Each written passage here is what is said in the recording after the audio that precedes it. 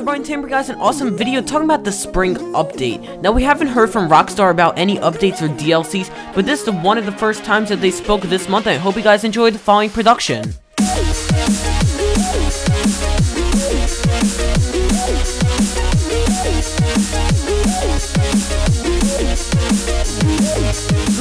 Start this video, I want to make this video nice and brief. I do not want to go into too in-depth, but I also want to give my opinion. Unlike some other YouTubers, they only bring you the facts. I want to bring you guys my opinion on my thoughts about this update. So let's get started. So the first thing is going to be the capture creator. So like Rockstar said, they're going to be teasing on how they're going to add more things to the content creator, and this is just the capture creator. So you guys are going to be able to make your own capture jobs.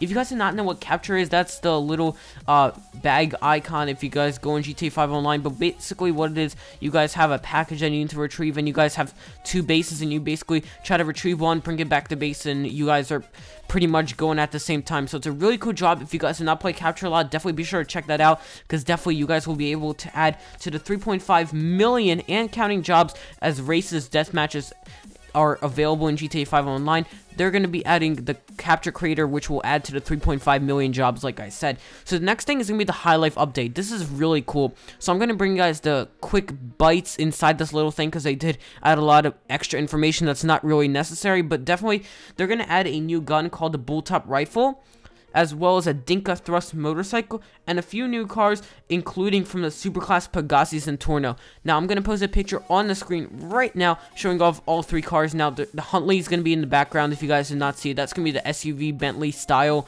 So I'm not sure if that's going to be a really popular car, but definitely a lot of leaked images show that there's going to be limited customization for these cars, but definitely I'm really excited for the Pagani Zentorno because a lot of rumors said that it's going to be in the Superclass, but now actually it is which is really really cool because i actually did not believe those rumors because you know we have a lot of superclass cars right now. For the superclass it's only the top-notch cars and this car seems to be top-notch because they put in the superclass. So let's get on with the next thing. So the next thing is gonna be heist so I'm going to read this whole little paragraph here because I know a lot of you are interested in heist, so let's get started. Coming this spring to Grand Theft Auto Online, team up with your most trusted crew members or with random other mercenaries in Grand Theft Auto Online to pull up the, off cooperative heist missions for glory and profit. We know many GTA 5 on online community have been looking forward to this update. Stay tuned for much more information to come.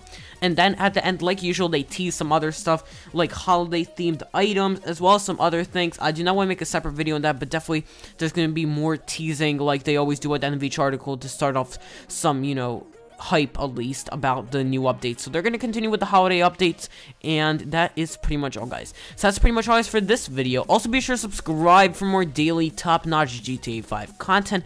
Also I have a Q&A going on right now. I have tons of spots open. So if you guys can leave your comment down below anything game related, channel related, personal life related, just leave your comment down below. I'll answer. Again, I have a lot of spots open. So if you guys leave any question down below, you guys are guaranteed a spot 110% in the next episode of my Q&A series, episode 8.